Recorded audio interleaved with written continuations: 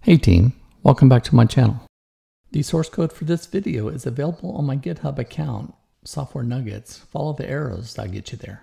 The code you're about to see has been tested in versions 14, 15, and 16. Notice I did select version and I'm currently using 16. In example one, you can see here we have some sample XML, data, record, first name, and a social security number. Let us wrap this XML into a variable. Here you can see I've used XML underscore data. The data type is XML and I've assigned all of this content to this variable name. Let's declare variables for first name and SSN. Let's don't forget the record element as well. Let's now wrap some code around this so we can get this to work. Well, now that we have our variables defined, our XML available, let's now write the program. Let's go ahead and drop in a for loop. Remember, for loop, and for every loop, we have an end loop.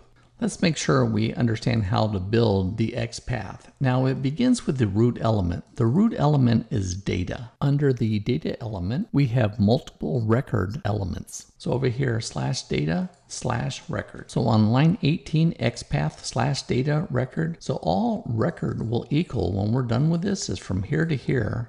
And because we're doing a for loop, it'll equal this one, and then it'll equal this one, and we'll just work down to the bottom. That's all that means. You may be wondering about why I'm using unnest function. Now this is necessary because we want to transform this data into rows and assign those rows to record. I cleaned up the XML and notice raise notice and I'm going to print record. Here you can see record equals record, first name Bob, social security number, and then Bob2 and his social security number.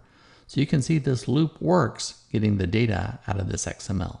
Let's now get Bob and this social security number out of this XML and assign it to these individual variables. Let's now look at line 15 and 16. Now my goal is to get out first name and social security number out of this XML. Now we're going to be using XPath again and notice this is the path. You can easily see that record first name gets Bob, record social security number gets the social security number. Now, what is this text? Well, that's a common node test.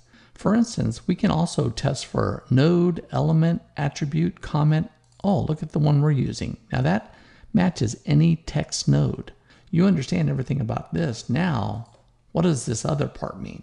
So XPath returns an array and sub1, that means like, let's take out the first element Let's cast the data type to varchar 30.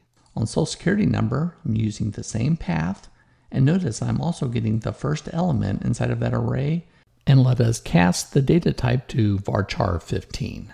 To make it more clear, I've added one additional step. Notice on line 6 I said xpath value. Notice an array of text. On line 16, notice we have a new variable, xpath underscore value. Now the goal is I want to see what the return value of just this part of this full statement is. And notice that it's an array of text. Now when I look at my output, notice I have an array identified by the curly braces. The value for the first one was Bob1 and then the second one. Now you understand why that I have these square brackets on the end of this to get the first element of an array. Here you can see I added two more raised notices. We're going to print the record and then the individual fields, the variables that we have defined above. Notice we have the array with Bob, then the record is for the entire length of record. And then you can see that we pulled out Bob1 and his social security. Now when we came back on the for loop and got the second record, we got Bob2 as our array in XPath value. I broke out record and then first and social security number. Now let me just show you one more thing that might hang you up that you'll need to fix. Let's do it. Let's add one more element of this XML and it's going to be age. So here we have age 23 and then how about 32.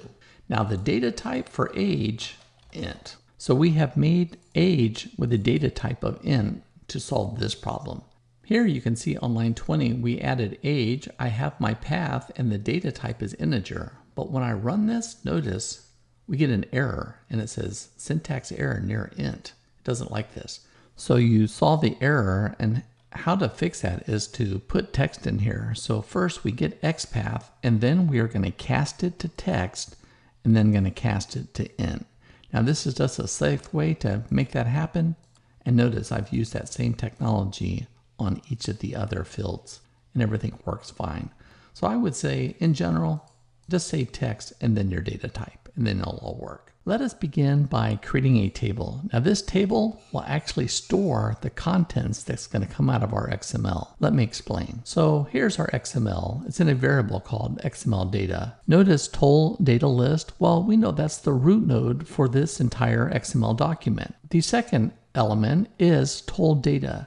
Now toll data represents a collection of toll related data. So you can see here, toll ID, we're defining that as an integer. License plate, we're defining that as a varchar. Booth ID is an integer, and the amount goes up here to toll amount is a decimal 10 two. So these data points are going to be preserved into this table here. In the first step, I went over how we're using XPath and I explained to you how we use XPath to parse data and assign it to our variables and using the ability to cast data types. I showed you the error for integers and it also happens on decimals if you don't put text in here. So this is what we call double casting. Then we just do an insert. Insert into the name of the table we created. Here are our column names and here are the fields that we just defined here from line 88 to 91. We're going to stay inside of this loop until this whole file is processed. And then at the end, I'm going to select star from toll data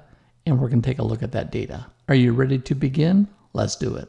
So let's highlight our command, hit the execute button, and let's see the results. Okay, so everything was successful. And now we're going to come down here and do the select statement, execute.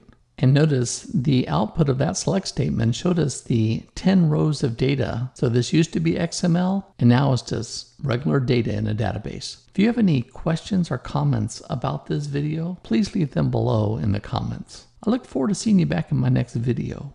Take care.